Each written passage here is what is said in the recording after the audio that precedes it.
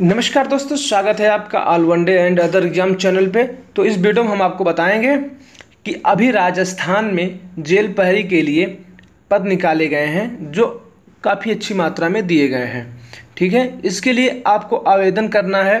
कब से कब तक इसको मैं बताऊँगा। इसके लिए योग्यता क्या है? इसके जो एग्ज़ाम का प्रकार है, उस कैसा है? कितने नंबर का होगा? कहने का मतलब ये है कि हर चीज़ हम इस पर डिस्कशन करेंगे ठीक है? तो आइए हम लोग वीडियो शुरू करते हैं। वीडियो शुरू करने से पहले अगर आप हमारे चैनल पर नए हैं तो हमारे चैनल को सब्सक्राइब करें। अगर वीडियो पसंद आए तो वीडियो को लाइक करें ना पसंद आए तो डिसलाइक करें ठीक है? तो आइए हम लोग शुरू करते हैं। लाल बटन को दबाएँ और सब्सक्राइब करें। हमारे इस YouTube चैनल को और इस बगल वाली घंटी को बजा दीजिए और हमारे चैनल से आप जुड़े रहिए। तो दोस्तों आप देख सकते हैं यह जो विज्ञापन दिया गया है यह महानिदेशालय कारागार राजस्थान जयपुर द्वारा दिया गया है। ठीक है, विज्ञप्ति का दिनांक है बीस सात दो हज़ार अठारह और इसमें जो है पदों की जो संख्या है, वह दिया गया है छः सौ सत्तर पद। ठीक है, और इसके बाद जो इसका दिनांक है, ये छब्बीस सात दो हज़ार अठारह से सोलह आठ दो हज़ार अठारह को यह चालू हो रहा है। ठीक है, और आपको यह सोलह आठ दो हज़ार अठारह को बारह बजे रात तक चलेगा फार्म भरने का सिलसिला। ठीक है? आगे हम आपको बताते हैं, इसकी जो योग्यताएँ हैं, ये भी बहुत अच्छी मानी गई हैं कि आप इसमें पार्टिसिपेट कर सकते और जो आय सीमा है, उसकी भी डिस्कशन करेंगे, काफ़ी अच्छा दिया गया है। ठीक है? तो आप देखिए, पहले आपको दिखता है इसमें, पहला जो पोर्शन आता है, मंडल पदों के अनुसार आपकी जो रिक्त पदों के अनुसार विवरण है, उसको मैं दिखा देता हूँ। ठीक है? तो आप ये देख सकते हैं आपका विवरण खुल चुका है। ठीक है? तो आप देखिए यहाँ पर, जो विवरण है, वह सामान्य के लिए जो है, ये आपको टोटल तीन सौ उनतीस पोस्ट दिया है और अनुसूचित जाति के लिए जो दिया गया है, वह दिया गया एक सौ चौदह पोस्ट और अनुसूचित जनजाति के लिए जो दिया गया है, वह एक सौ चार पोस्ट दिया गया है। और अन्य पिछड़ा वर्ग के लिए दिया गया है एक सौ बाईस पोस्ट और अति पिछड़ा वर्ग के लिए दिया गया एक पोस्ट ठीक है? और सह शहरिया में कोई नहीं दिया गया है, ठीक है? डॉट डॉट है। और टोटल आपका हो जाता है छः सौ सत्तर पोस्ट ठीक है ना? अब हम लोग आगे बढ़ते हैं। ये हमारा हो गया, पदों का विवरण हो गया है। अब आप यहाँ देख सकते हैं, आवेदन की जो प्रक्रिया है, वह ऑनलाइन दी गई है। ठीक है? इसके लिए आपको पच्चीस रुपये बीस रुपये आवेदन पत्र और पाँच रुपये ये। ठीक है? आपको पच्चीस रुपये देने पड़ेंगे। ठीक है? और आपको मैं दिखाता हूँ जो मेन चीज़ें हैं। आपकी जो फ़ोटो साइज़ है, ये जब आप लगाने जाएँगे तो आपकी photo size four point five into three point five centimetre का होना चाहिए। ठीक है?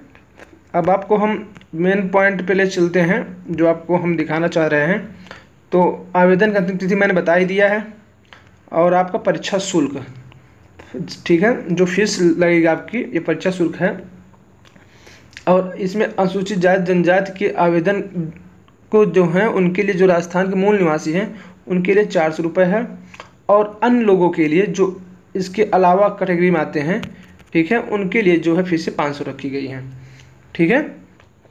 और इसके बाद आपको पच्चीस रुपये का ये शुल्क लगेगा, ठीक? अब हम बढ़ते हैं आगे। लिखित परीक्षा का आयोजन देख लेते हैं। तो ये जो परीक्षा तिथि है अब दिया गया है इसमें, अक्टूबर 2018 के मध्य आयोजित की जाएगी। यानी कि आपका इस साल 2018 में अक्टूबर मध्य के करीब यह परीक्षा कराई जाएगी।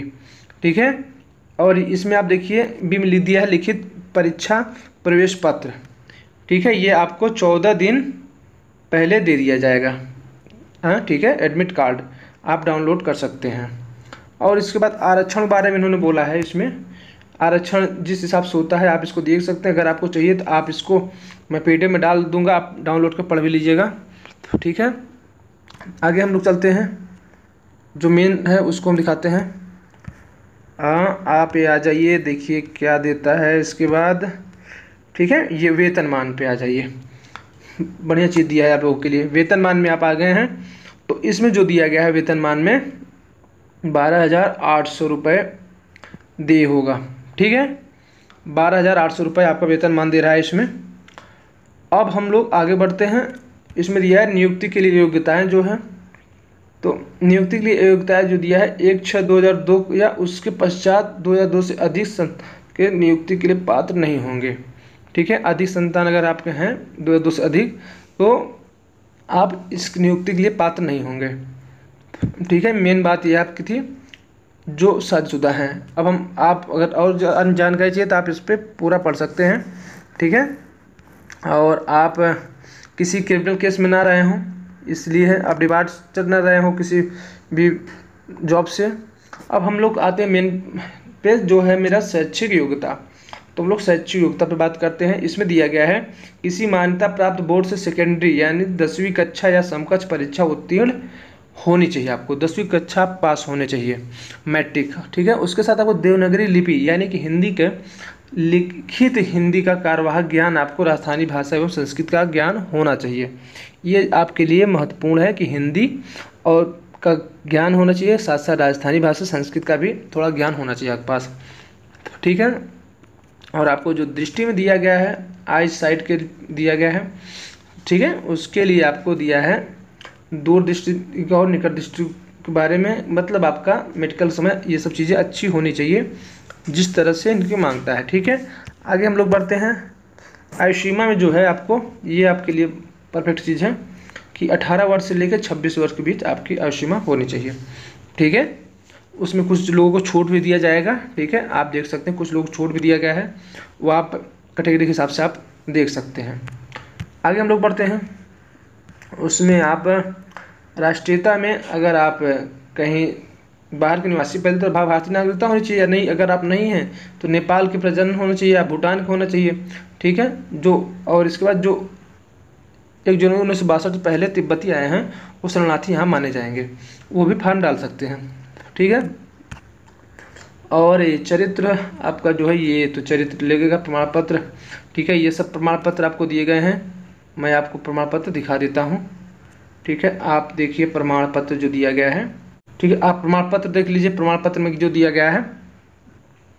आप शैक्षिक योग्यता प्रमाण पत्र होना चाहिए, आयु प्रमाण पत्र होना चाहिए, ठीक है। अगर आप किसी से ताल्लुक रखते हैं तो उसके लिए आपको प्रमाण पत्र होना चाहिए, ठीक है। इसी प्रकार से आपके ये छः महीने पुराने नहीं होने चाहिए, ठीक है। आप लोग, आप देखिए, चयन प्रक्रिया जो है, चयन प्रक्रिया में आपका दिया गया है लिखित परीक्षा। लिखित परीक्षा जो है आपकी चार सौ अंकों की। ठीक है? और शारीरिक दस्ता परीक्षा जो है सौ अंकों की, यानी कि आपका टोटल मार्क्स हो जाता है पाँच सौ। ठीक है? पाँच सौ अंकों होगा पहले आपका लिखित परीक्षा करा ली जाएगी, फिर उसके बाद आप सिलेक्ट होते हैं तो आपका शारीरिक दस्ता परीक्षा कराई जाएगी सौ नंबर का। इसके बाद आपका मेरिट बनाया जाएगा। ठीक है? और लिखित परीक्षा जो होगा यह दिया है कारागार विभाग द्वारा निर्धारित तिथि एवं परीक्षा केंद्रों पर ऑफलाइन ऑनलाइन परीक्षा आयोजित कराई जाएगी। ठीक है? ये दोनों परीक्षाओं का विकल्प दिया गया है, जिसकी अवधि होगी दो घंटे का। ठीक है? और आपको अब आगे आपसे ये ऑब्जेक्टिव टाइप के प्रश्न दिए जाएँगे, ठीक है? एक सौ अस्सी अंक का, ठीक है? इसमें कई सारे इंक्लूड किए गए हैं, जैसे सामान्य ज्ञान, सामान्य विज्ञान, सामाजिक विज्ञान, सामाजिक विषयों पर ये सब चीज़ें हैं और राजस्थान से भी काफ़ी चीज़ें पूछी जाएँगी, ठीक है? आप राजस्थान से ताल्लुक़ रखते हैं या न रखते हैं, उसके बारे में आपको थोड़ा अध्ययन करना पड़ेगा, ठीक है? और इसमें जो माइस मार्किंग है, वह फोर बाई वन है, ठीक है? चार अंक का होगा, इस प्रश्न का गलत उत्तर देने पर आपका एक अंक काट लिया जाएगा, ठीक है? आगे हम लोग बढ़ते हैं, उसमें देखते हैं। हाँ ये महत्वपूर्ण चीज़ आप देखिए इसमें। लिखित परीक्षा हेतु तो न्यूनतम छत्तीस प्रतिशत अंक उत्तीर्ण के रूप में निर्धारित किए गए हैं। आपको निर्धारित किए गए हैं, ठीक है? छत्तीस परसेंट आपको पाएँगे तभी। अगर आप इससे कम पाते हैं तो आपको फेल मान दिया जाएगा, आप आगे स्टेप में नहीं प्रवेश करेंगे, ठीक है? आगे हम लोग बढ़ते हैं। शारीरिक मापतौल, वही जो पुराना धट्टा है इनका। ऊंचाई एक सौ अड़सठ, सीना इक्यासी, ठीक है, एक सौ और महिलाओं के लिए एक सौ बावन, सैंतालीस, ये दिया है, ठीक है शारीरिक दस्ता इनमें हाँ शारीरिक दस्ता जो है आपका, ये मांगा गया है, अगर आप जब दस्ता दिन जाते हैं तो इस सौ अंक को कराएँगे, इसमें आपको दौड़ जो होगा, पाँच किलोमीटर का दौड़ कराया जाएगा, चाहे महिला हो, चाहे पुरुष हो, महिलाओं के लिए जो है ये वरीयता दी गई कि आपको दस मिनट एक्स्ट्रा दिया जाएगा, और पुरुषों के लिए केवल पच्चीस मिनट दिया गया है, पच्चीस मिनट में दौड़ना है पाँच किलोमीटर, और जो महिलाओं के लिए पैंतीस मिनट में ठीक है? अब हम लोग आगे बढ़ते हैं। ये चयन सूची है, इसमें आपको रे प्रमाण पत्र ठीक है? लगभग लगभग मैंने आपको सारी चीज़ें बता दी हैं। अगर आपको और भी कुछ चीज़ जानकारी चाहिए तो ज़रूर आप हमारे चैनल को सब्सक्राइब करें, हमारे इस वीडियो को लाइक करें। अगर आपको कुछ पूछना है तो कमेंट बॉक्स में जाके कमेंट्स कर सकते हैं, नहीं तो हमारे व्हाट्सएप पे आके हमसे सवाल जवाब कर सकते हैं। तो बहुत बहुत धन्यवाद दोस्तों, अगर वीडियो पसंद है, वीडियो को लाइक करें, शेयर करें, सब्सक्राइब करें। मिलते हैं अपने अगले वीडियो में।